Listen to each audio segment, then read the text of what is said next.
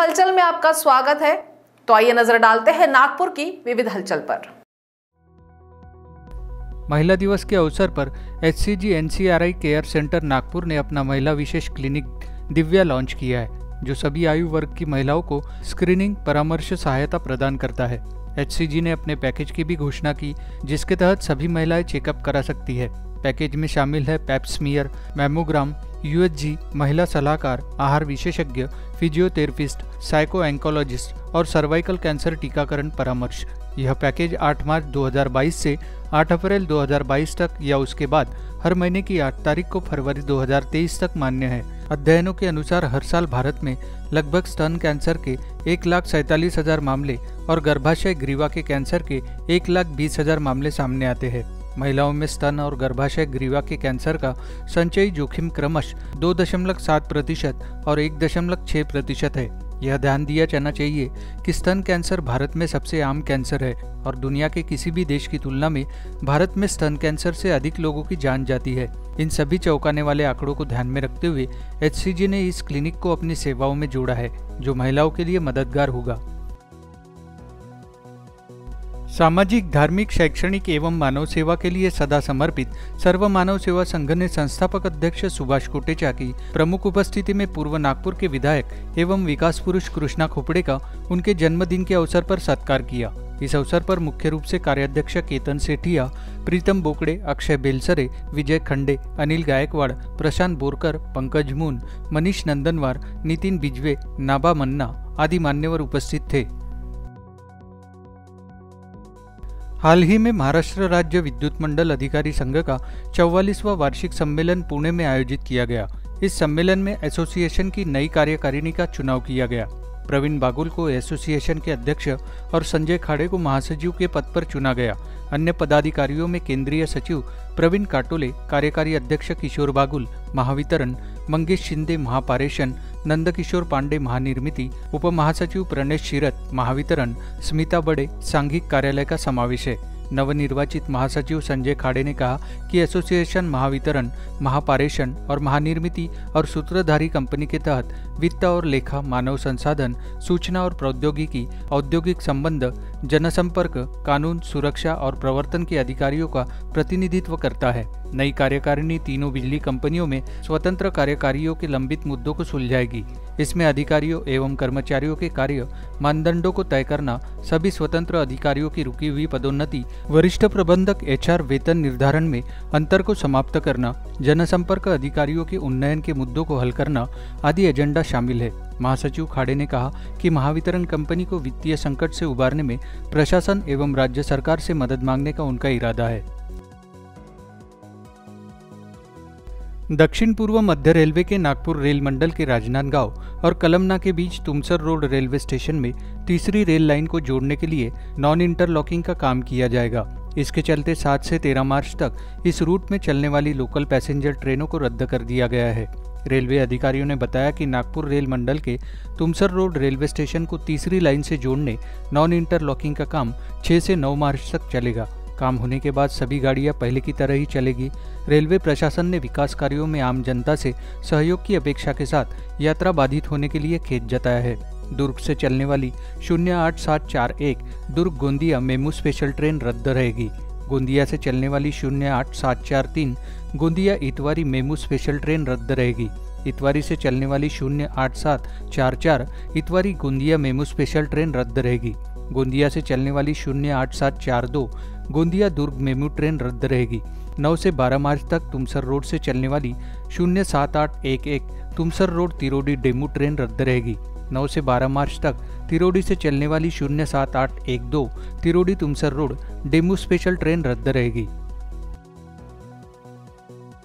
All India Majlis Ittehadul Muslimeen Party के चौसठवें स्थापना दिवस पर कार्यकर्ता सम्मेलन का आयोजन नागपुर के प्रभारी निसार सिद्दीकी की अध्यक्षता में चोपड़े लॉन जाफरनगर में किया गया।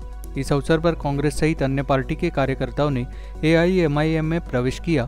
उत्तर नागपुर के कांग्रेसी नेता सलीम खान ने सौ से ज़्यादा कार्यकर्ताओं के साथ एआईएमआईएम पार्टी का दामन थामा। कार्यक्रम में मुख्य रूप से राज्य प्रवक्ता प्रोफेसर जावेद पाशा ने अपने विचार व्यक्त करते हुए एआईएमआईएम की विस्तृत भूमिका रखी। शहर अध्यक्ष जावेद अख्तर ने भी अपने विचार रखे। महिला विंग महासचिव कीर्ति डोंगरे ने कहा कि ए आई एम आई एम संविधान पर चलने वाली सेक्युलर पार्टी है, जिसमें सभी धर्म के लोग पार्टी से जुड़ रहे हैं। इस दौरान अनेक पत्रकारों एवं साहित्यकारों का मानचिन्ह और शॉल देकर सत्कार किया गया। मंच संचालन शाहिद रंगूनवाला ने किया। मंच पर यूथ विंग के अध्यक्ष वकार अंसारी, शहर उपाध्यक्ष जुल्फिकार अहमद शानू, वसीम शेख, मध्य नागपुर अध्यक्ष मुजफ्फर कमर, पश्चिम नागपुर अध्यक्ष ज़फ़र सोलंकी, उत्तर नागपुर अध्यक्ष शरीफ पठान, अजहर हुसैन, आबिद अंसारी, शोएब खान, हाजी तस्लीम, शारिक जमाल, मोहम्मद रिजवान, कलीम अंसारी, मोहम्मद मुस्तफ़ा, रिजवान अंसारी, अल्फाज वसीम पटेल आदि पदाधिकारी एवं कार्यकर्तागण उपस्थित थे। हाल ही में स्मार्ट सिटी और नागपुर महानगर पालिका की ओर से निर्मित हिरकणी कक्ष का मनपा के छत्रपति शिवाजी प्रशासनिक भवन में केंद्रीय मंत्री नितिन गडकरी के हाथों लोकार्पण किया गया। इस अवसर पर महापौर दयाशंकर तिवारी, मनपा आयुक्त राधाकृष्णन बी स्मार्ट सिटी की सीईओ भुवनेश्वरी एस, महिला एवं बाल कल्याण समिति की अध्यक्षा दिव्या धुरडे आदि मान्यवर उपस्थित थे। हाल ही में महाराष्ट्र नवनिर्माण सेना नागपुर ने मराठी राजभाषा दिवस पर विभिन्न कार्यक्रमों का आयोजन किया। मनसे के राज्य महासचिव हेमंत गडकरी ने मध्य नागपुर के महल में छत्रपति शिवाजी महाराज की प्रतिमा पर माल्यार्पण किया और शहर में आयोजित विभिन्न कार्यक्रमों का दौरा किया।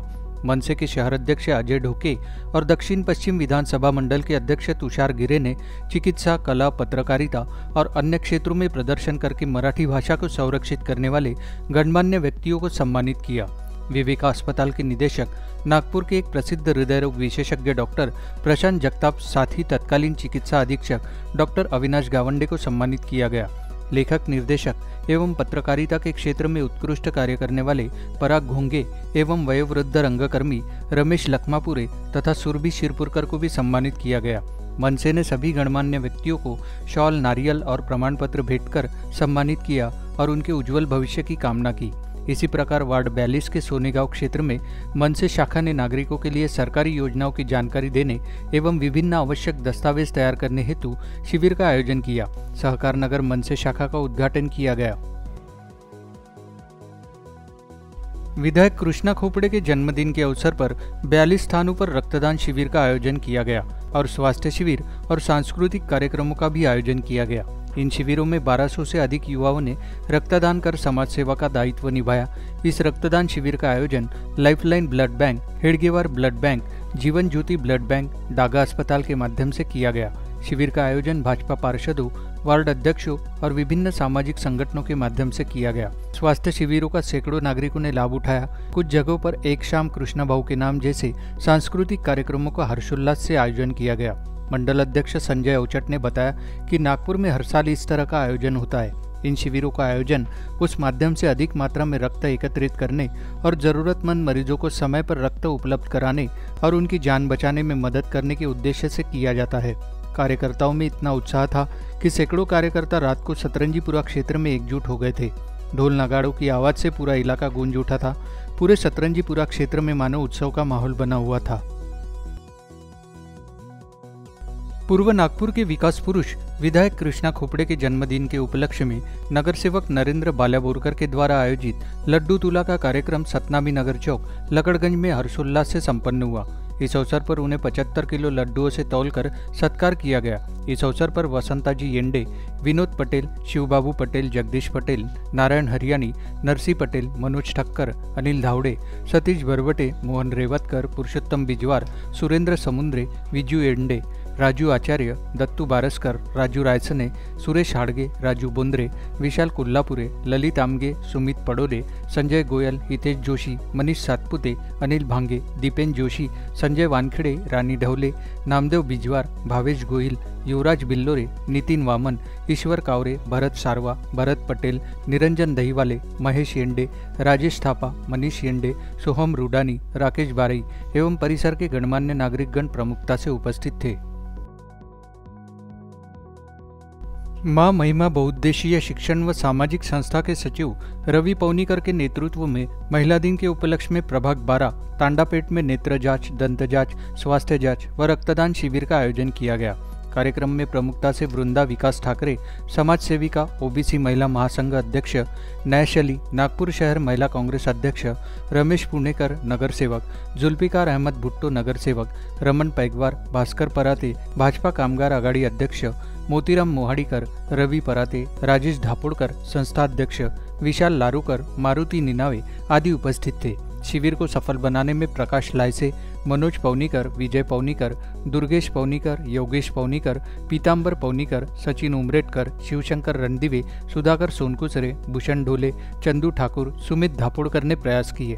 वंदना पवनीकर, प्रगति पवनीकर, इंदू पवनीकर, प्रिया पवनीकर, संगीता मोंदेकर, किरण निखारे, प्रतीक्षा उमरेटकर, दुर्गा धापोड़कर आदि ने प्रयास किए। उद्योजक और व्यापारियों का एक संयुक्त प्रतिनिधि मंडल, डॉक्टर दीपेन अग्रवाल, अध्यक्ष chamber of association industry and trade के साथ, सुरेश राठी अध्यक्ष, रोहित बजाज उपाध्यक्ष तुनेश्वर पेठे, राष्ट्रवादी कांग्रेस, शहर अध्यक्ष की उपस्थिति में, नागपुर प्रवास के दौरान एनसीपी के सांसद प्रफुल्ल पटेल तथा राज्य गृह मंत्री दिलीप वत्से पाटिल से मुलाकात की। इस अवसर पर सुबोध मोहिते पाटिल, पूर्व केंद्रीय मंत्री, पूर्व विधायक प्रकाश गजबीये और पूर्व पार्षद वेद प्रकाश आर्य की उपस्थिति रही। शुरुआत में निको ग्रुप के प्रबंध निदेशक रमेश जायसवाल ने प्रफुल्ल पटेल का स्वागत किया और डॉक्टर दीपिन अग्रवाल ने दिलीप वत्स्य पाटिल का शॉल, श्रीफल, गुलदस्ता और मोमेंटो देकर स्वागत किया। डॉक्टर दीपिन अग्रवाल ने कहा की व्यापारियों की सुरक्षा सुनिश्चित करने के लिए बाजारों में चौकसी बढ़ाने के लिए पुलिस बल को अधिक सक्रिय बनाने की ज़रूरत है। अग्रवाल ने कहा की कोविड 19 महामारी के कारण नौकरी एवं आय के नुकसान के कारण विपरीत सामाजिक तथा आर्थिक स्थिति पैदा हो गई है, जिसके कारण कई लोगों को आसान तरीके से पैसे कमाने के लिए अपराध की ओर धकेल दिया गया है, जो दुर्भाग्यपूर्ण है। गृह मंत्री वलसे पाटिल ने कहा कि राज्य सरकार विदर्भ के विकास के लिए कटिबद्ध है। नागपुर महानगर में युवा महिलाएँ तेरह मार्च को भेदभाव छोड़ो, समानता के लिए दौड़ो और सुरक्षा के लिए दौड़ो, संदेश के साथ जागरूकता फैलाएगी। संविधान चौक से कस्तूरचंद पार्क तक महिलाओं की पाँच किलोमीटर की मैराथन दौड़ में शहर के पचास हज़ार से अधिक युवतियाँ और महिलाएँ साथ में होंगी। ये दौड़ 8 मार्च को महिला दिवस के अवसर पर प्रशासन की पहल से आयोजित की जा रही है। जिला प्रशासन ने इस कार्यक्रम की विस्तृत योजना बनाई है। डॉक्टर नितिन राउत ने शुभकामनाएँ दी और इस उपक्रम की समीक्षा की। संभागायुक्त प्राजक्ता लवंगारे वर्मा, कलेक्टर आर विमला के नेतृत्व में तेरह तारीख को नागपुर में महिला शक्ति का महाजागरण होगा। उन्होंने कहा कि इस बार हम सभी नारी शक्ति के संरक्षक की भूमिका में खड़े होंगे। बैठक में संभागायुक्त प्राजक्ता लवंगारे वर्मा, पुलिस आयुक्त मितेश कुमार, कलेक्टर आर विमला, जिला परिषद के सीईओ योगेश कुंभेजकर सहित सभी विभाग प्रमुख उपस्थित थे। बता दें कि संभागायुक्त प्राजक्ता लवंगारे वर्मा, अपर पुलिस आयुक्त अश्वती दोरजे, कलेक्टर आर विमला, महिला अधिकारी हैं, जो पुलिस विभाग एवं जिला प्रशासन में महत्वपूर्ण पदों पर कार्यरत है। ये नागपुर के लिए बहुत गर्व की बात है।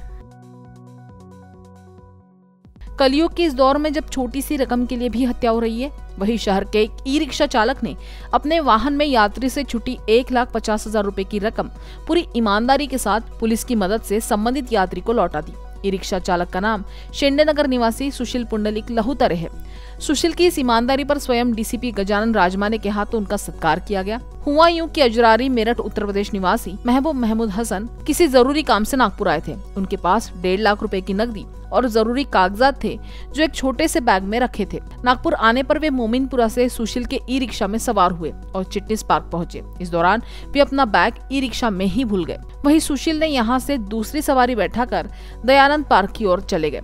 इस दौरान रिक्शे में सवार एक अन्य दिव्यांग सवारी, महर्षि दयानंद नगर निवासी दिनेश आनंद राव ठौरे ने उन्हें बैग के बारे में बताया। सुशील और दिनेश ने मिलकर बैग खोलकर देखा तो उन्हें एक लाख डेढ़ हज़ार रूपए नकद और कुछ ज़रूरी कागजात दिखाई दिए। पुलिस की मदद से बैग हसन को लौटा दिया गया। शहर में तकरीबन 300 खेल मैदान और बगीचे हैं। माता पिता बच्चों के हाथ में मोबाइल फ़ोन न दे। केंद्रीय मंत्री नितिन गडकरी ने कहा कि मैं चाहता हूँ कि वरिष्ठ नागरिकों सहित एक लाख बच्चे हर सुबह मैदान पर जाए, खेले और व्यायाम करें। वे यहाँ आरटीओ चौक और विश्वविद्यालय परिसर के बीच फ्लाईओवर के शिलान्यास समारोह के अवसर पर भाषण दे रहे थे। कार्यक्रम में विधानसभा में नेता प्रतिपक्ष देवेंद्र फडणवीस, महापौर दयाशंकर तिवारी, सांसद कृपाल तुमाने, विधायक समीर मेघे, प्रवीण दटके बावन कुले, पूर्व विधायक सुधाकर देशमुख, पूर्व महापौर माया युवनाते आदि उपस्थित थे। इस मौके पर गडकरी ने कहा कि सड़क पर कई दुर्घटनाएँ हुई हैं, लेकिन इस फ्लाईओवर के पूरा होने के बाद हम कई लोगों की जान बचा पाएँगे। यूनिवर्सिटी से आरटीओ तक की सड़क के नीचे चार लेन और ऊपर चार लेन होगी। हम अमरावती रोड से तेलंगखेड़ी तक सड़क को भी चौड़ा कर रहे हैं। हम नागपुर को पर्यटन की दृष्टि से विकसित करने के लिए प्रोजेक्ट भी ला रहे हैं। इससे ताड़ोबा, पेंच, उमरेट, कारहंडला में पर्यटन बढ़ेगा। इसके साथ ही हम एडवेंचर स्पोर्ट्स भी शुरू कर रहे हैं। शहर खेल के दृष्टिकोण से विकसित हो रहा है। नागपुर में मेट्रो रेल का निर्माण करना मेरे लिए अत्यंत सौभाग्य की बात है। जनता का पूर्ण सहयोग मुझे मिलता रहा और मैं अपनी टीम के साथ आगे बढ़ता रहा। मेरी टीम ने जो उत्तम कार्य किया है और आज 26 किलोमीटर रूट पे मेट्रो की यात्रा सेवा शुरू हो गई है। उसी का पुरस्कार मुझे आज नागपुर महानगर पालिका के इस सम्मान समारोह में मिला है।